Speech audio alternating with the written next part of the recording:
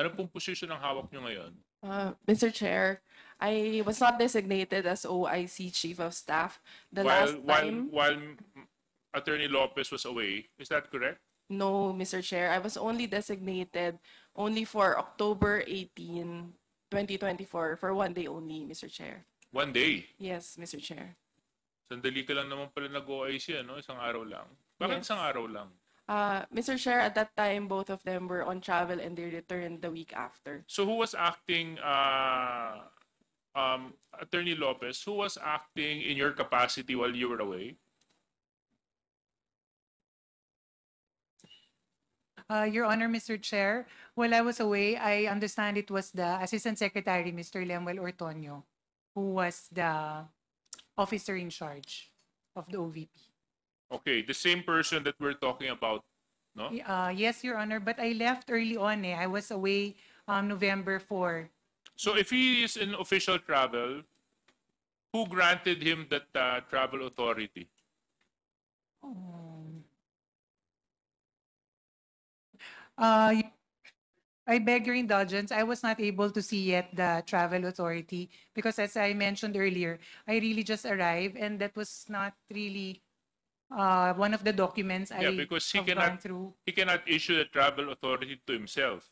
Yes. So him being the one in charge, so my question is, who issued his travel authority? So you were not there. So it's Yes. Attorney Sanchez. Um, Mr. Chair, I will check for, with the office, but I have not seen the travel authority, Mr. Chair. So but he he does have a travel authority. Can you confirm that he has a travel authority? I have, I am not aware, Mr. Chair. Okay. Um, can you be kind enough to ask your uh, office?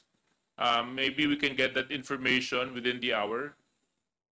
Kasi nakakapagtaka lang, Mr. Chair, siya po yung officer in charge at sinasabi niya na wala siya dito although pinangako niya na darating siya.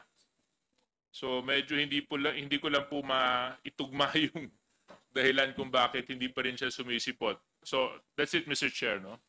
Chair, in, in line with this Thank you. manifestation of Congressman the Zia. SGJ. Yes, in line with the manifestation of uh, the SGJ. I think we all know as a re- regular administrative processes, whenever you are requesting for a uh, tra- a travel uh, authority, alam po naman natin talaga it's the principal as the head of the agency that uh, really approves that. So I don't think it would take, uh, I guess, Attorney Sanchez to verify from the office who authorized the travel uh, authority of this particular individual. I'm, I mean, judging from the way the administrative processes is being practiced and exercised in the bureaucracy and all bureaucracies in the government, we know that it would be, it, it would be the, no, the vice president uh, who would probably um, grant the travel authority to this particular, am I correct? Mr. Chair, um, based on the delegation of authorities in our office order, uh, the approval for travel orders of the Chief of Staff and the Assistant Chief of Staff uh, belong to the head of agency, Mr. Chair, That, that's, that, that- that's it. Who is the head of the agency? uh, the Vice President, Mr. Chair. Thank you, Mr. Chair. Thank you.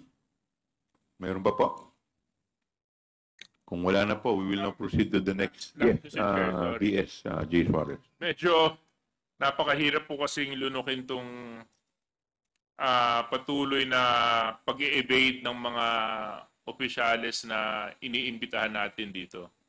Um, may I just manifest, Mr. Chair, that as we progress, and I hope na we can conclude this committee hearing in the next few weeks, can we also look into the possibility of uh, administrative uh, sanctions against these individuals who continue to defy um, invitations, subpoenas, contempt orders against these public officials. Malingkod bayan po ito, Mr. Chair. eh. So, binabasa ko po yung ah, mga batas ah, patungkol po sa mga public officials, ay talagang tungkulin po nila yung humarap sa mga ganitong pandinig. At kung patuloy po silang umiiwas, hindi pupunta at hindi dadalo at gagawa ng kung ano-ano mang dahilan, Eh, sa palagay ko po, Mr. Chair, dapat mapag-aralan din po ng komitibang ito kung ano pong mga kasong administratibo ang pwede pong ipataw sa kanila dahil hindi po ito sumusunod sa alituntunin ng isang lingkod bayan. So that's my short manifestation, Mr. Chair, with regards to Acosta, to um, Sunshine Fajarda, to uh, Ortonio, and to Mr. Fajarda. So, thank you very much, Mr. Chair. Uh, Mr. Chair, short comment lang din, Mr. Chair. Yes, Congressman Manuel. Uh, Mr. Chair, uh, dagdag dun sa nabanggit na ating mga kapwa mambabatas.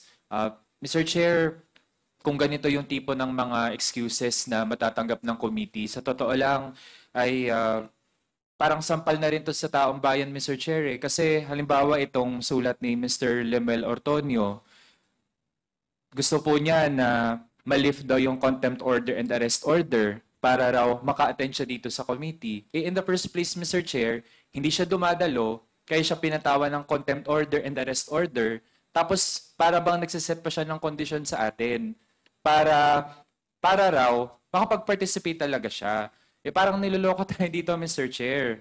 Pangalawa, ito pong sulat ni na Sunshine Paharda, Edward Paharda, tsaka Gina Acosta. Kasi raw may ginagawa sila sa OVP. Eh, Mr. Chair, kung ganito pala, eh, baka kahit isamon po natin sila 20 times dito sa committee, pwedeng sabihin lang nila, meron silang official duties sa Office of the Vice President. At yun yung kanilang gagamitin excuse para hindi sila dumalo.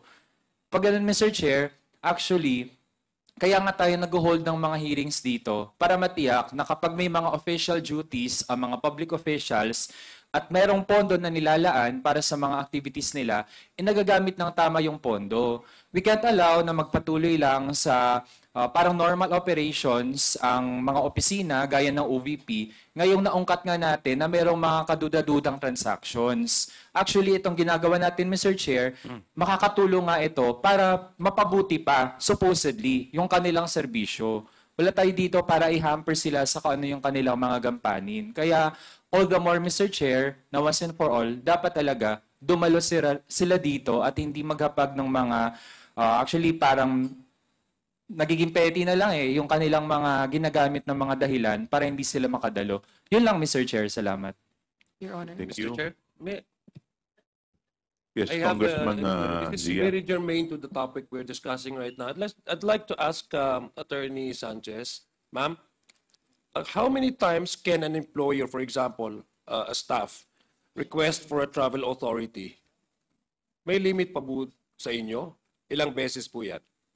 Attorney Sanchez. And what are the reasons for, for example, for the head of the agency to grant this request for a travel authority? Yes, Mr. Chair. We do not have a specific limit as to the number of times that a staff can travel as long as the, there is basis or justification and necessity for the travel, Your Honor. Uh, it is granted. So, so you have to, for example, Mr. Chair, if I may be allowed, no? kasi gusto ko lang po malaman dahil parang ang always na nar- narason na naririnig natin ay travel, official travel, official travel. Can you categorize to us, paano mo i-differentiate dun sa official travel, how many times can an employee request for official travel? Kung official yan na, like the regular operation ng opisina ninyo. Uh, Your Honor, usually for official travels, it's not the employee that requests, but it's the Office. office Okay. that So what about yung personal travel? For personal travel, Your Honor, um, generally, it would be based on the available leaves of the staff, but uh, there would be instances when necessary, for example, if there are medical reasons, Your Honor, that can also be granted, but without. What other reasons are there available that an employee can request for a personal travel? I'm, I'm, I believe there is the medical reasons. What other reasons can in an employee, a regular employee, request for a personal travel? Uh, Your Honor, for personal travel, there are different reasons provided by, under the CSC guidelines. Uh, It can be vacation or emergency leave, kung namatayan, but uh, different and Pero hindi naman reasons. every week or every month magkakaroon ka ng travel, di ba? The reason why I'm asking this, Mr. Chair, and I want to put into record, because the re- for since the time that we have started this committee hearings, apparently are there certain individuals who consistently refuse to appear before this committee uh, hearing, despite the the insistence of this committee sending them invitation to appear. And they have even the gall to request to the committee to lift the contempt order, Mr. Chair. Pang ilan na po natin ito? Pang 7, pang 5, pang 6 na po ito, Mr. Chair. Pang 6 na ano. So, to me, if you ask me, my personal take on that is there's a deliberate refusal to attend this committee hearing. And there's a deliberate um, uh, deliberate way to frustrate the proceedings uh, of this committee, which to me, gusto kong tanungin, how many times did they send us an excuse letter citing a uh, travel authority? Kasi parang na-abuse na po ito. I think it's time for, for this committee, maybe, perhaps, to really evolve the way that we the way that we receive and accept these reasons kasi kailangan na natin tama nga yung sinabi ni Kong Jill parang hindi na sila natitinag sa contempt order eh so we Comsec? don't want to set this example that anybody who does not like to attend hindi ko alam kung whatever reason dahil ayaw lang nila sumagot sa committee na ito ay gagamitin lang nila yung convenient reason na nagkakaroon sila ng travel order travel order uh, Mr. Chair. Comsec, how many times did they send us the ano their excuse letter that they are on official travel? Your Honor, from the time a subpoena at testificandum was issued, so for success and successfully served from November 11 to to today, since there's a standing um, contempt, for the first four hearings, they sent position papers stating points that uh, why they are not attending, Your Honor. After that, travel orders na po, Your Honor. It's really bothering Mr. Chair because tam tinanong ko nga who really approves the travel order.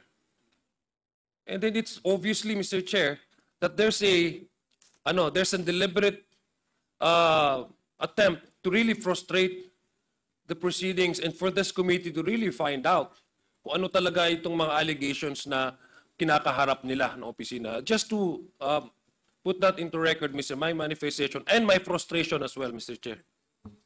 Thank you. The chair would like to recognize Congressman Kate Flores. Mr. Chair, kanina pa tayo dito sa excuses ni Naparde and uh, since the Chief of Staff already mentioned that they're on official travel, may I know from the Chief of Staff exactly where the travel is of the spouses Fajarda? Uh, Your Honor, Mr. Chair, uh, as mentioned earlier, I was not able to see the travel authority of these individuals, Your Honor. But would When- you know where the activities are supposedly?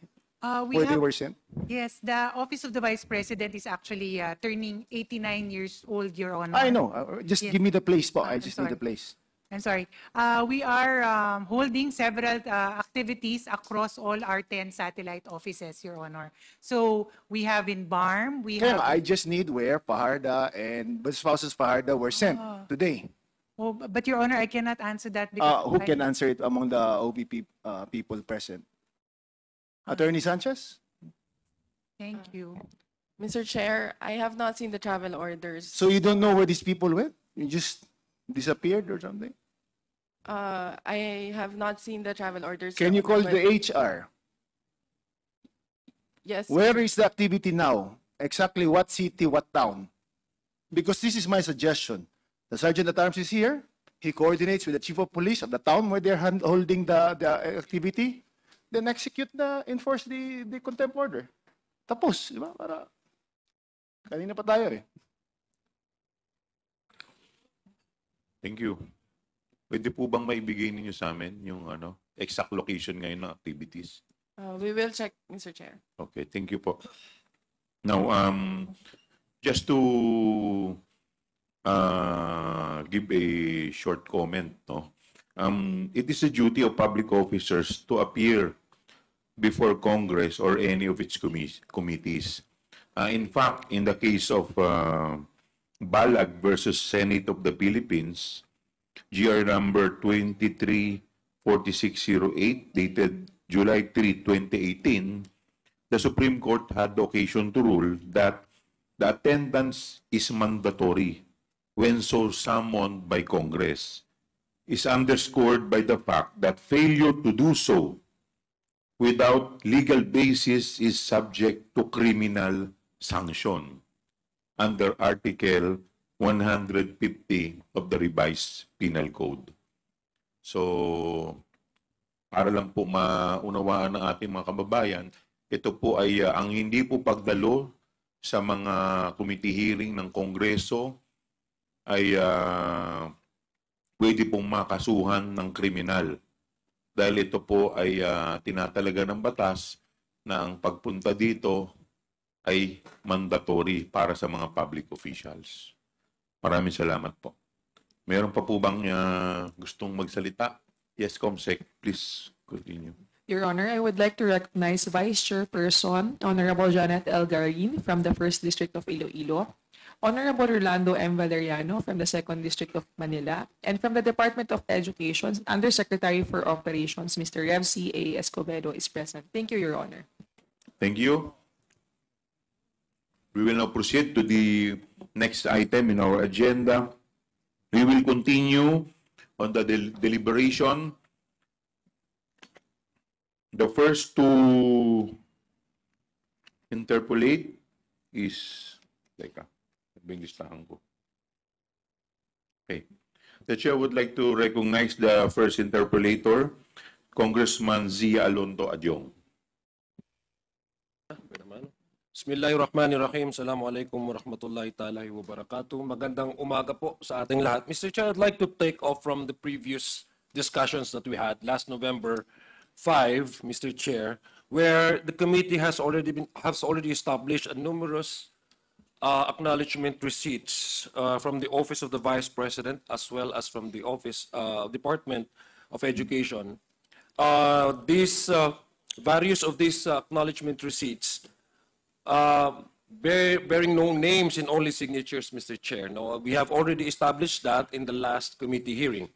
There were even uh, acknowledgement receipts, Mr. Chair, uh, with names that repeatedly, no, uh, hindi lang dal- dalawang beses, uh, even thrice, tatlong beses pong nag-a-appear sa ito sa mga sets of acknowledgement receipts. May mga acknowledgement, acknowledgement receipts din, Mr. Chair, na pare-pareho ang pagkasulat. Um, at yung iba, yung iba, pare-pareho yung tinta ng, ng kanilang ballpen na ginamit. Na there have been numerous other observations, Mr. Chair, which lead this committee and at least this representation to believe na meron talagang questionable yung processes at mukhang gawa-gawa no uh, yung tong mga acknowledgement receipts na ito Mr. Chair. Uh, so since then, since we started discussing about the acknowledgement receipt, Mr. Chair, uh, there were numerous numerous uh, inquiries from the public asking me kung how important is this acknowledgement receipts are. So pag-usapan po natin yon and I think this is part of my manifestation before I go on proceed to proceed with my questions, Mr. Chair. Ang ah, ang mga acknowledgement receipts na po ito ay sinumite ng, isinumite ng Office of the Vice President at the Department of Education bilang documentary evidence of payment for the supposed uh, expenses using confidential funds, uh, Mr. Chair. For the record, and to answer the public, Mr. Chair, uh, yung buong kabuuan po ng confidential funds ng Office of the Vice President uh, totaling 500 million pesos as well as the confidential funds of the Department of Education totaling 112.5 million. These amounts were liquidated, liquidated, Mr. Chair, solely through the acknowledgement receipts, um, totaling with a grand total of 612.5 million of these public funds utilized um, na ginamit na ang binigay lang sa uh, sa COA as a as a uh, justification for the utilization of these confidential funds ay yung acknowledgement receipts na marami ho tayong nakita in the previous uh, hearings na medyo questionable. Iba, yung iba ay to a point na nakakatawa, Mr. Chen. I would just like to cite an example and let me go back to the previous, again, uh, acknowledgement receipt that was first observed by Chairman Romy Acop. How many um, acknowledgement rece- receipts are we talking here, Mr. Chair, no?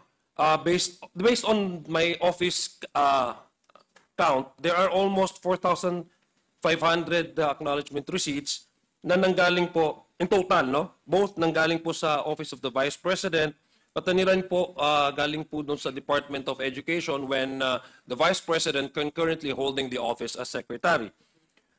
Uh, roughly 4,500, 2,670 from the Office of the Vice President submitted uh, acknowledgement receipts and 1,820 with no zero invoice, no um, invoices, zero official receipts, no? Lahat po ito acknowledgement receipts na walang attachment of proof of identity, no? Or the existence man lang na yung supposed recipients nito ay buhay or totoong tao. So this is this is what we find out during the previous committee hearings, and this is what I think the observant observation of this representa- representation would like to find out.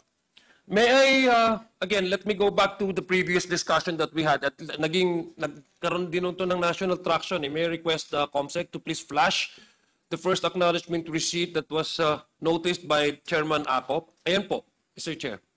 Yung Mary, Ann, ah, Mary Grace Piatos. No? Isa po yan sa mga acknowledgement receipt na naisumite sa sa commission, uh, commission on uh, COA Commission on Audit, na alam naman po natin na yung pangalan na Mary Grace ay isang restaurant, yung Piatos ay isang chichirya. No, if you ask me, ah, medyo questionable. Kung meron pa ho talagang taong nagngangalang Mary Grace Piatos, now we could not find out whether this Mary Grace Piatos is indeed a person or alive because there's no uh, corroborate attachment to it other than the acknowledgement receipt na receive natin, ang pirmado niya.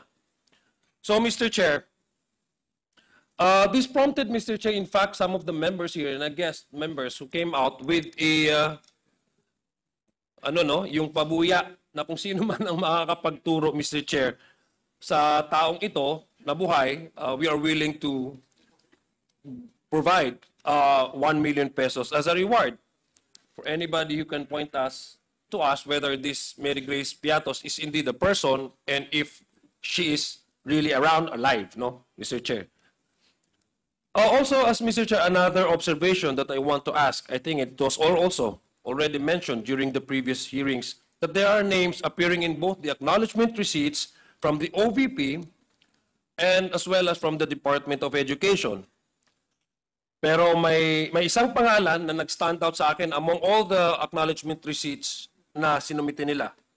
So, Mr. Mr. Chair, just to maintain the confi- confidentiality of the activities, uh, assuming there were any such activities, Mr. Chair, I would just like to just um, show to you the signature of this particular acknow- acknowledgement receipt which I noticed, Mr. Chair. No? Uh, may I uh, request uh, our COMSEC to flash the second yan po. um, ito po yung acknowledgement receipt. Galing po yan sa Office of the Vice President. Yung set po na sinubmit. Ah, gusto ko lang pong tanungin ang ah, ating ang COA. Na- Is, Mr. Chair, is uh, Ms. Ka, Ka, Kamo, Kam, Kamora present? May we know if uh, representative from COA is present? Attorney Camora? Saan? Yes, Attorney Camora is present.